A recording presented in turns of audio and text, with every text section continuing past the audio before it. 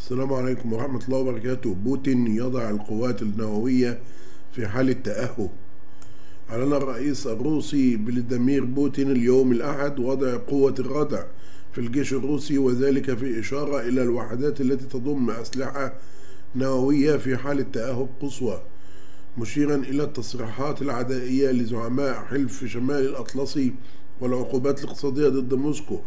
وصرح بوتين خلال لقاء مع قادة العسكريين نقله للتلفزيون. أمر وزارة الدفاع ورئيس رئيس هيئة الأركان بوضع قوات الردع في الجيش الروسي في حالة تأهب خاصة للقتال الخاصة للقتال حسبما أوردت وكالة فرانس فرانس بريس. واتهم بوتين الغرب باتخاذ خطوات غير ودية تجاه بلاده في اليوم الرابع في حرب من حرب أوكرانيا.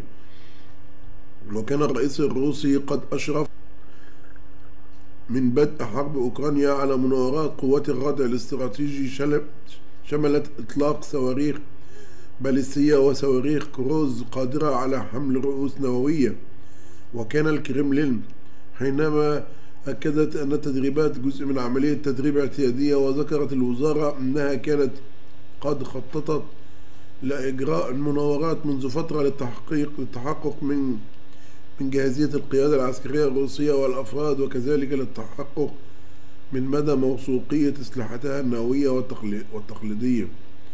وتجري روسيا تدريبا تدريبات مكثفة لقواتها النووية الاستراتيجية بشكل سنوي لكي لكن المناورات المخطط إطلاقها السبت تشمل بشكل واضح أسطول البحر الأسود الذي يتمركز في قبالة شبه جزيرة القرم الذي أعلنت روسيا ضمه من أوكرانيا عام 2014 شكرا لكم والسلام عليكم ورحمة الله وبركاته.